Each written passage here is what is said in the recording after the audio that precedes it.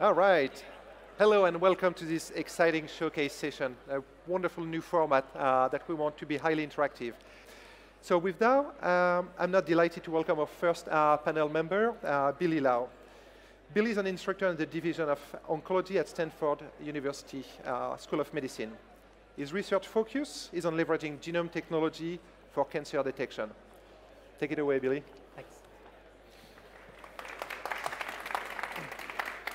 Hi, um, so our group is really interested in using liquid biopsy for longitudinal monitoring of cancer as well as for early cancer detection. Um, just as a brief review, um, liquid biopsies are commonly um, defined as um, taking a blood draw from a patient and taking a, and examining the constitutive components inside in order to give either a diagnosis of cancer or any kind of um, disease condition.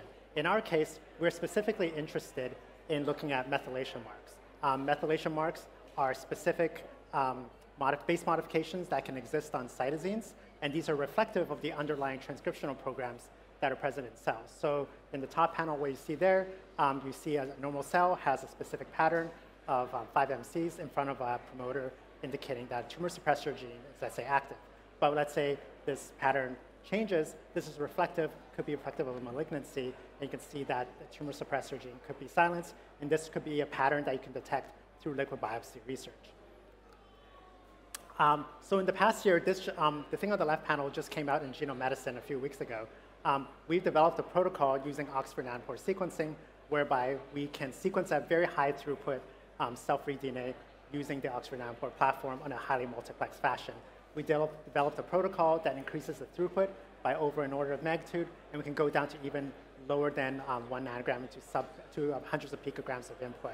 Um, this correlates to probably maybe a mil to half a mil plasma. Um, since then, we've extended the study to look at population cohorts. So on the right is a, is a new study that we're embarking on where we have sequenced a large case control cohort of early stage breast cancer patients as well as um, uh, negative controls and also a validation cohort as well for the purpose of early breast cancer detection.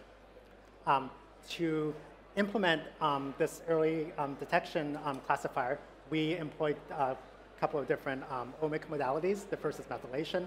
As we said before, you can um, train classifiers to look at the aggregate methylation profiles in case and control and compare unknown cases to it in order to derive similarity scores and call whether those could be case or control. Similarly, you can also use alternative modalities such as fragmentomics, whereby the fragmentation patterns of the reads themselves can be indicative of disease states. And this is something that we describe in the genome medicine paper that we, we just published. We can use um, these uh, fragmentation patterns, fit to mixture models, and um, develop classification schemes as well. Um, lastly, you can put these two omic modalities together with ensemble learning.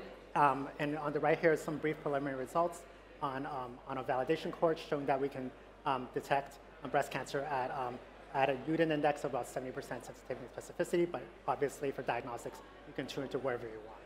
Um, so that's it, um, uh, what our lab does. I'd like to thank um, all these people that are involved in the study and the patients that made the study possible.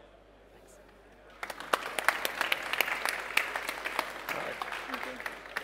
Thank you very much, Billy.